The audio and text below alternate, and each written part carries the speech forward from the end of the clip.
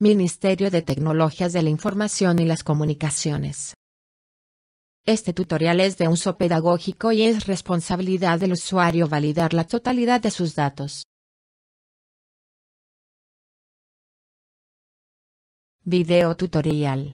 Presentación sin pago, de autoliquidaciones virtuales en el SER.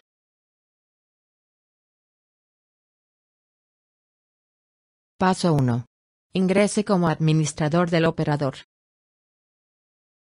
Ingrese a la opción de administrar usuarios. Creo los nuevos usuarios de representante legal, y contador o revisor fiscal según lo tenga establecido en su empresa. Genere el FUR para el periodo requerido. Genere el FUR del periodo requerido, ejemplo con registro TIC. Ingrese por el periodo no presentado o por la opción autoliquidación. Digite los valores requeridos de ingresos y deducciones si hay lugar a ello. Haga clic en el botón Aceptar. Verifique los valores presentados en pantalla, y haga clic en Aceptar autoliquidación. Seleccione la opción electrónica. Seleccione la opción Presentación, la fecha máxima para el proceso y haga clic en Continuar. Revise los valores finales y haga clic en Generar FUR. Si lo desea, coloque una observación en el cuadro. Listo, ya terminó de generar el FUR. Ahora, continúe con el firmado del mismo. Paso 3. Solicite a su representante legal que ingrese al SER. Ingrese a la opción Autorizar firmas. Seleccione los usuarios autorizados para realizar el proceso de firmado virtual de las autoliquidaciones. Haga clic en Guardar.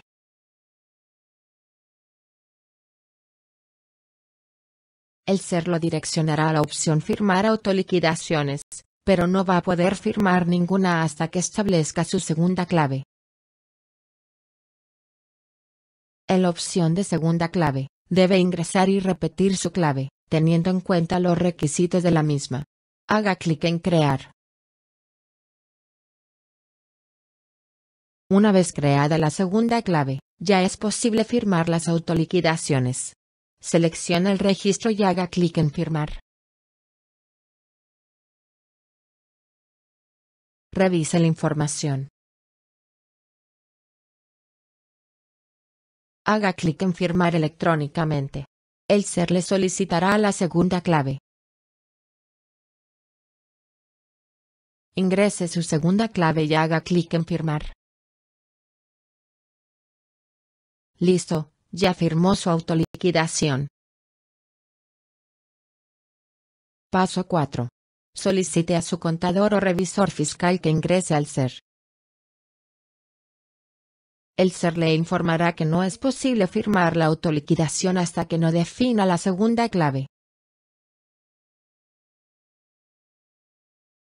Vaya a la opción Segunda clave. Defina y repita su segunda clave, teniendo en cuenta los requisitos de la misma y haga clic en el botón Crear. Una vez definida la segunda clave, el SER le permitirá firmar la autoliquidación.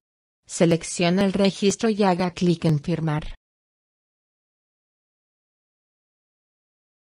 Revise la información y haga clic en Firmar electrónicamente. Ingrese su segunda clave y haga clic en Firmar. Ya terminaron el proceso de firmado. Realice su presentación sin pago, desde el rol operador o representante legal. El presentar, lo pueden hacer el usuario con rol operador o representante legal. seleccione el registro y haga clic en Presentar. El SER le solicitará la confirmación del proceso. Haga clic en Aceptar. Puede ver y descargar el FUR, o lo puede consultar más adelante por la opción de consultar de FURs generados. El FUR debe quedar con el número de referencia y la fecha y hora del proceso. Las presentaciones virtuales se registran con la fecha del día hasta las 6 pm, pasada la hora señalada, se registran con la fecha del siguiente día hábil. En el ejemplo del tutorial, se ingresó un valor como ingresos, sin embargo, es posible dejar el valor de los ingresos en cero si no percibió ingresos por ese concepto durante el periodo.